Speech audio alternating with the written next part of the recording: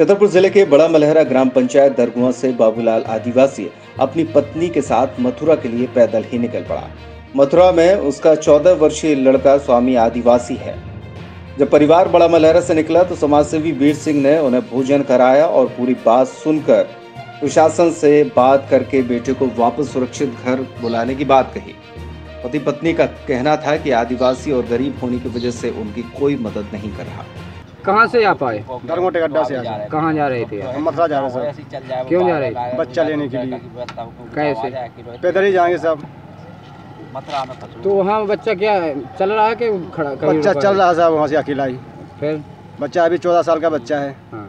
तो उसको लेने के लिए हम जा रहे हैं वो वहाँ से रोते रोते चल रहा है तो यहाँ से हमको बुला रहा तो हम अपने बच्चा को लेने को जाएँगे। हाँ। हाँ जी।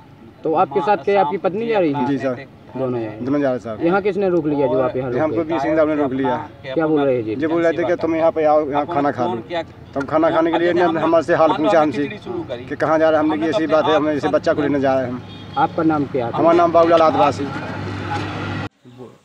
मैं नई साल को आया हूँ यहाँ और यहाँ लॉकडाउन में फंस गया मैं अपने घर जाना चाहता हूँ और जिला छतरपुर और अब मैं अभी घर जाना चाहता हूँ और मैं अपने मम्मी पापा से मिलना चाहता हूँ। मेरा गाँव मेरा गाँव बड़ा मलेरा और जिला छतरपुर है। हाँ ये बच्चा है, यहाँ पे फंसा हुआ है लॉकडाउन में। ये नई साल को आया था, यहाँ पे बाइक का काम सीख रहा था बजाज कंपनी में। और इसके जाने के लिए अब कोई उम्मीद नहीं है, ना इसके लिए कोई वाहन मिल रहा है। और इसको जाना ज़रूरी है, ये रोता है बच्चा, हल्का बच्चा है, दस बारह साल का।